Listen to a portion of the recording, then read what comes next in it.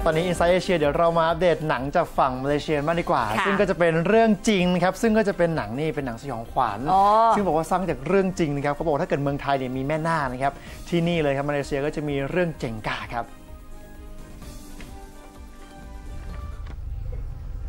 นี่เลยนะครับหากประเทศไทยเนี่ยมีผีสาวตายทั้งกลมแล้วนะครับที่โด่งดังที่เป็นที่รู้จักกันนะครับก็คือเรื่องแม่นาคนะครับที่ประเทศมาเลเซียเนี่ยก็มีเรื่องเจงก้าเช่นกันครับก็จะเป็นหนังสยองขวัญเรื่องใหม่ ที่กำลังสร้างกระแสอยู่ในตอนนี้ครับเพราะว่าสร้างมาจากเรื่องจริง ของหญิงสาวคนหนึ่งที่ลูกของเธอเนี่ยเสียชีวิตระหว่างที่เธอกำลังหนีจากสิ่งลึกลับในสวนปาล์ม หลังจากนั้นนะครับชาวบ้านก็ออกตามหาเธอนะครับก็พบเธอนอนหมดสติอยู่ในสวน และหลังจากนั้นเนี่ยเธอก็ทำท่าทางแปลกๆประหลาดเหมือนโดนผีสิง และเรื่องราวแปลกๆนะครับชวนสยองขวัญนั้นก็ตามมาอีกเรื่อยๆครับ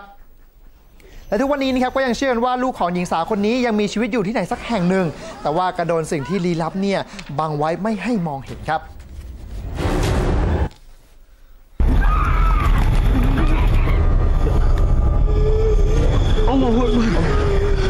Jangan benda tu.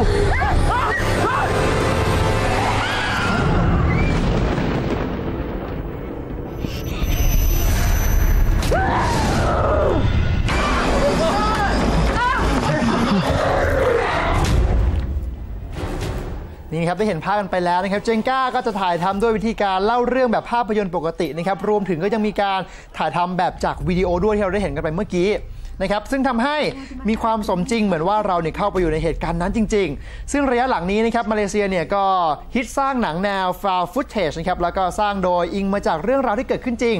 ก็ตอนนี้นะครับกระแสของเจงก้านั้นก็นับได้ว่าดีทีเดียว เพราะว่าผู้ชมเนี่ยต่างก็เก่งกันไว้ว่า น่าจะเป็นแชมป์ใหม่ที่จะมาโค่นหนังเรื่องวิลล่านาบิล่านะครับหนังสยองขวัญบ้านผีสิง ที่ได้รับการยกย่องนะครับว่าเป็นหนังผีที่น่ากลัวที่สุดเร็วๆนี้ครับ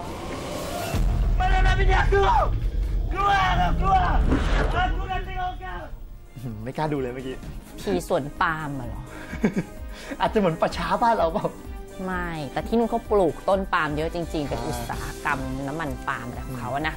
น่ากลัวนะ เป็นเรื่องผีๆนี่ยังไงผมก็น่ากลัวไม่น่ากลัวก็กลัวอยู่ดีฮะนะครับ